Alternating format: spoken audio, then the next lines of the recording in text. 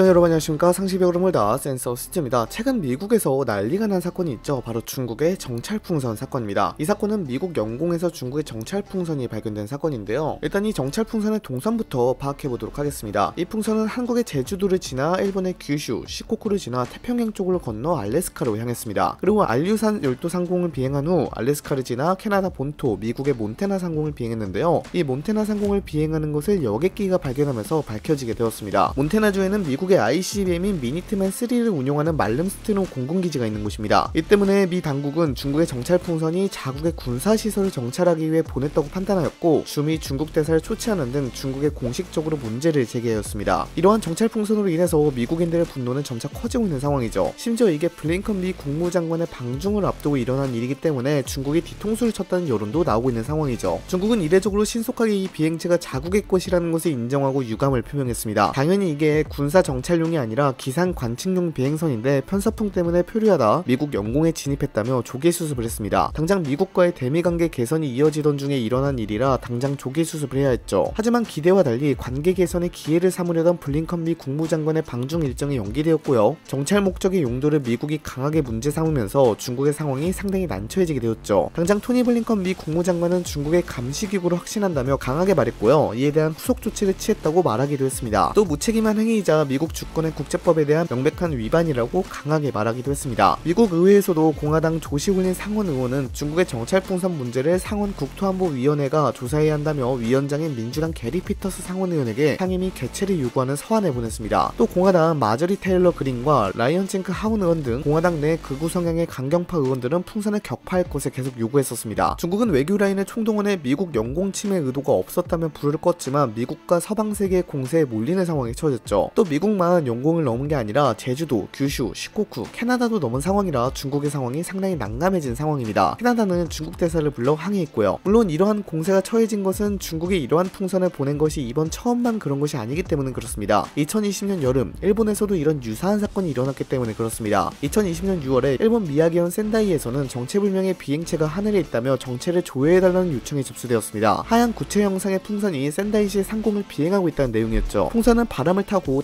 태평양 쪽으로 서서히 이동하고 있었는데요. 이때 날씨가 좋아서 괴비행체를 어렵지 않게 포착할 수 있었습니다. 일본 기상청이나 경찰, 자위대 등 일본의 정부기관에서는 모두 자기들이 쏘아올린 개 비행체가 아니라고 하고 심지어 일본 내 대학교에서도 자신들이 쏘아올린 개 비행체가 아니라고 하면서 미궁 속으로 빠진 사건이 하나 있었습니다. 그런데 이때 발견된 풍선과 미국 상공에서 발견된 풍선의 모양이 일치한 겁니다. 즉 중국은 이러한 짓을 예전부터 꾸준히 했다는 것이었죠. 그리고 이 풍선의 항적이 한국의 제주도도 돌아간 것으로 확인되면서 한국도 이러한 풍선에 의해 정찰되 었을 가능성이 높아지는 상황입니다. 미국은 이러한 풍선을 계속 관측을 이어나갔습니다. 그리고 자국 영공을 침범한 중국의 풍선을 전투기를 통해 격추시켰죠. 사우스캐롤라이나주 해변을 벗어나 대서양을 상공에 떠있던 중국 풍선을 격추시킨 것입니다. 미국은 F-22 전투기를 통하여 해안가에서 10km 정도 떨어진 곳에서 미사일로 기구를 파괴했는데요. 이때까지 격출하지 않은 이유는 자네가 민간의 피해를 입힐 수 있다는 이유로 격출하지 않은 것이었습니다. 그래서 완전히 육지를 벗어나니 격출한 것입니다. 격추 작전이 진행되는 동안 사우스캐롤라이나주 월밍턴 공항과 찰선 공항 에는 비행기 이착륙이 금지되었고요. 격추 직후에는 미국 해군과 해안 경비대 함정들이 바다에 떨어진 잔해 수구 작업에 들어갔습니다. 미국 오스틴 국방장관은 격추된 기구가 전략적 장소들에 대한 정찰 목적용이라고 밝혔습니다. 미국 국방부는 이 기구가 ICBM 경납고 150개가 있는 몬테나주 말름스트롱 공군기지 상공에도 머물렀다고 밝혔습니다. 중국 외교부는 홈페이지에 올린 성명을 통해 미국의 무력을 사용해 민간 무인 비행선을 공격한 것에 대해 강한 불만과 항의를 표시했다고 밝혔습니다. 이어 중국은 검증을 거쳐 이 비행선이 민간용이고 불가 항력으로 미국에 진입했으며 완전히 의외의 상황임을 이미 여러 차례 미국에 알렸다며 강하게 항의했죠. 중국은 미국이 무력을 동원해 가행 반응을 보인 것은 국제 관리를 엄중히 위반한 것이라고 주장했습니다. 이어 중국은 정당한 권익을 단호히 보호할 것이라며 필요시 추가 대응 방침을 예고하기도 했죠. 미중 관계가 매우 악화되는 순간입니다. 물론 이 사건에 대해 의문이 드는 점도 있습니다. 풍선이나 열기구의 역사는 꽤나 오래되었습니다. 근데 군사용 정찰 풍선은 18세기 프랑스에서 처음 등장했고요. 1차 세계대전 때도 정찰 및 폭격 임무를 수행하기도 했습니다. 근데 오늘날 같이 첨단 군사위성 시대에 정찰기나 드론도 아닌 구닥다리 풍선이 군사 정찰용으로 활용될 가능성에 대해 의견이 크게 엇갈리고 있죠. 풍선은 크기가 상대적으로 크기에 적에게 노출될 가능성이 크고 속도도 매우 느려서 쉽게 관측도 되고 구조상 자체 방어 장비를 갖추기에도 불가능합니다. 한마디로 격추되기가 쉽다는 뜻입니다. 근데 왜 정찰 위성과 첨단 항공 기술까지 보유한 중국이 풍선을 미국 본토에 띄어 정찰을 하는 것입니다. 일부에서는 중국이 실수를 가장하여 미국의 방공 능력을 시험하는 동시에 동시에 미국의 의중을 확인해 보려고 하는 것이 아니냐는 분석도 있을 정도로 이해가 안 되는 상황인 것이죠. 또한 중국이 미국과의 대화를 통한 분위기 완화에 응하지 않겠다는 것일 수도 있겠네요. 어찌됐건 현재 미중 관계가 이러한 정찰 풍선 사건으로 인해 크게 악화된 만큼 앞으로의 상황이 더 냉각될 전망입니다. 현재 풍선의 잔해를 미국이 가져가는 데 성공했으니 어떻게 될지는 더 지켜봐야 할 것 같습니다. 영상 마치도록 하겠습니다. 감사합니다.